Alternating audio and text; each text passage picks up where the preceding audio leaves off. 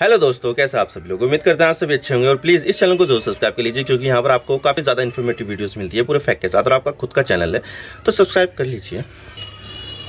तो गूगल ये दुनिया का सबसे बड़ा सर्च इंजन है और अगर आपको कुछ भी सर्च करना हो गूगल पर, आप बस सिंपली जाइए टाइप कीजिए जो भी आपके सर्च टर्म है और बस क्लिक कर दीजिए और आपका जो सर्च रिज़ल्ट है वो फ्रैक्शन ऑफ़ सेकेंड्स में ही आपके सामने आ जाएगा।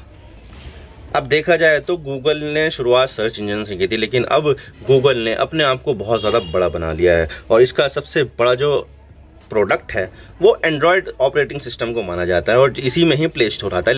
लेकिन अब गूगल के साथ ऐसी कंट्रोवर्सीज आ रही है प्ले स्टोर से रिलेटेड जिससे जो कंपटीशन कमीशन ऑफ़ इंडिया है, उसने दो बार जुर्माना लगा दिया है। पहले तो 1200 कुछ करोड़ रुपए का, और अब 936 करोड़ रुपए का। तो चलिए जानते हैं कि मामला क्या है ये। गूगल के ऊपर दो बार फाइन क्यों लगाया गया? आज इसके बारे में पूरी डिटेल के साथ बात करते हैं। चलिए शुरू करते हैं।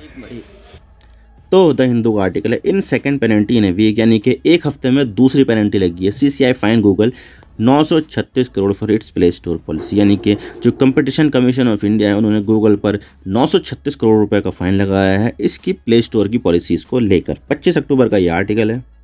और इसके अलावा इंडिया टुडे में भी आया। Google fined 936 crore for unfair business practice second penalty in seven days यानी कि सात दिन के अंदर दूसरी पेनल्टी लग गई है। अब चलो इसके बारे में भी बात कर लेते हैं। तो बात करते हैं कि मामला क्या है और हम इसकी बात क्यों कर रहे हैं। तो देखिए गूगल ये दुनिया का सबसे बड़ा सर्च इंजन है। आपको कुछ भी सर्च करना हो तो आप सिंपली गूगल करिए और आपको परख झपकते ही आपको सर्च रिज़ल्ट मिल जाएगा। वैसे तो दुनिया में और दूसरे सर्च इंजन भी है, जैसे माइक्रोसॉफ्ट का बिंग सर्च इंजन है और याहू वगैरह है, लेकिन गूगल इस मामले में सबसे आगे और मार्केट में इसकी डोमिनेंस है। और इसी डोमिनेंस का फ़ायदा उठाते हुए उसने काफ़ी ज़्यादा पैसा भी कमाया है और अपनी कंपनी को भी बहुत बड़ा बना लिया है। आप गूगल के कई प्रोडक्ट मार्केट में हैं। आप जो ये वीडियो यूट्यूब पर देख रहे हो, वो भी गूगल का ही एक प्रोडक्ट है। और मोस्ट प्रोबेबली आप ये वीडियो किसी एंड्रॉयड स्मार्टफ़ोन में देख रहे हो तो वो जो एंड्रॉयड ऑपरेटिंग सिस्टम है, वो भी गूगल का ही एक प्रोडक्ट है। और इससे भी आगे बढ़ते हुए गूगल अपनी पिक्सल लाइनअप के स्मार्टफ़ोन भी बनाती है, जो कैमरा के मामले में और सॉफ्टवेयर के मामले में टॉप ऑफ़ द लाइन होते हैं। गूगल ने अपनी काफ़ी पहुँच बना ली है, लेकिन इसका अपने मार्केट डोमिनेंस को वायलेट करने के आरोप भी लगते रहते हैं, क्योंकि ये मार्केट में डोमिनेंट पोजीशन पर है। और ये अक्टूबर का महीना भारत में गूगल के लिए कुछ खास नहीं रहा है और इस महीने भारत में कंपटीशन कमीशन ऑफ़ इंडिया यानी कि सीसीआई ने ही दो बार गूगल पर फाइन मारा है। अभी कुछ दिनों पहले सीसीआई ने गूगल पर तेरह करोड़ रुपए का फाइन मारा था, लेकिन इस फाइन को मारने के कुछ दिनों बाद ही सीसीआई ने गूगल पर फिर से फाइन मार दिया और इस बार ये फाइन है नौ सौ छत्तीस करोड़ रुपए का और टोटल गूगल पर फाइन बाईस करोड़ रुपए का जुर्माना लग चुका है। और यहाँ पर जो बात कही है, वो कि गूगल ने अपने इकोसिस्टम का मार्केट में डोमिनेंस होने के कारण इसका गलत फ़ायदा उठाया है। और ख़ासकर प्ले स्टोर से रिलेटेड जहाँ पर आप सभी अपनी पसंद की ऐप्स को डाउनलोड करते हैं तो बात करते हैं कि इस मामले में सीसीआई ने क्या कहा है। तो देखिए, यहाँ पर सीसीआई ने cease and desist order issue कर दिया है और यहाँ पर एक टाइम दे दिया है कि जिससे गूगल प्ले स्टोर पर जो अपनी ऐप्स है, उसको पेमेंट करने की एक थर्ड पार्टी का सपोर्ट भी प्रोवाइड करे। यानी कि कुछ टाइम बाद आपको थर्ड पार्टी का सपोर्ट प्रोवाइड करना ही होगा।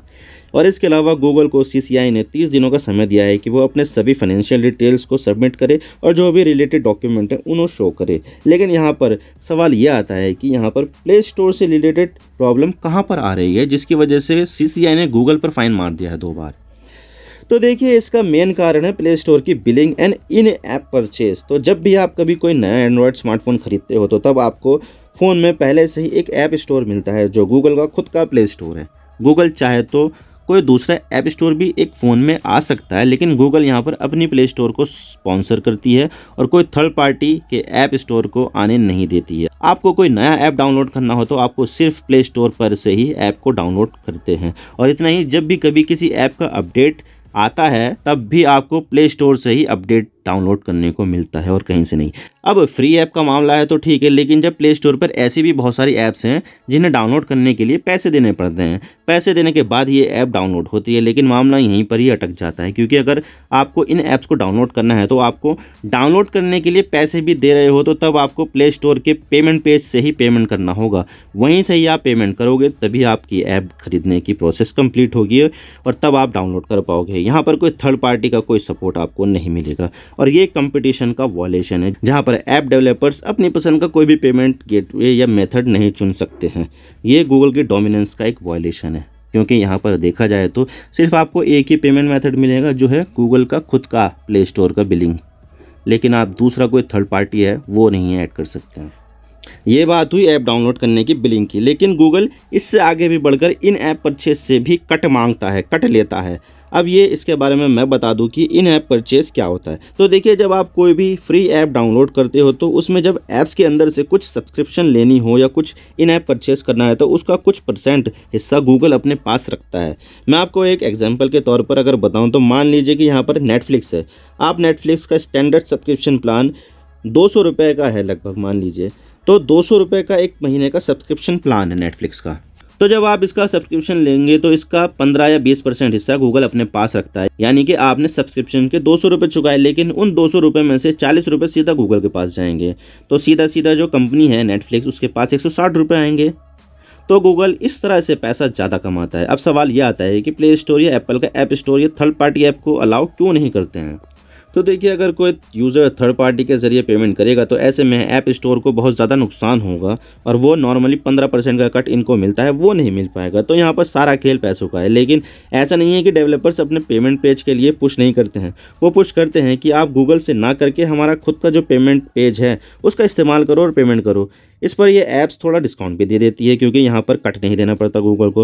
लेकिन फिर बात आती है ट्रस्ट और सिक्योरिटी की। यूज़र्स यहाँ पर गूगल के पेमेंट गेटवे को सेफ़ मानते हैं, लेकिन किसी थर्ड पार्टी के पेमेंट गेटवे को सेफ़ नहीं मानते हैं। तो ऐसे में यूज़र्स गूगल के ज़रिए ही पेमेंट करना पसंद करते हैं और फिर मजबूरी में ऐप डेवलपर्स गूगल को कट देते हैं। ये मजबूरी में देना पड़ता है।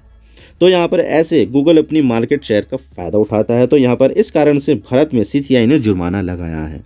लेकिन ऐसा नहीं है कि गूगल थर्ड पार्टी का जो पेमेंट पेज है वो सपोर्ट नहीं करता। बिल्कुल सपोर्ट करता है लेकिन सिर्फ़ अभी के लिए फ़िलहाल साउथ कोरिया में। क्योंकि यहाँ पर साउथ कोरिया ने यहाँ पर नया कानून लेकर आया तो, तो यहाँ पर साउथ कोरिया में गूगल को ये नया कानून मानना पड़ता है और यहाँ पर थर्ड पार्टी का जो पेमेंट सपोर्ट है वो देना पड़ता है। तो यहाँ पर साउथ कोरिया में ही आपको ऐसा देखने को मिलेगा बाकी यहाँ पर नहीं मिलेगा क्योंकि इंडिया में अभी ऐसा कानून कोई है ही नहीं।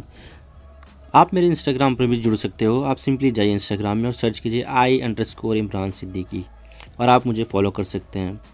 इसके अलावा आप मुझे ट्विटर पर भी फॉलो कर सकते हैं।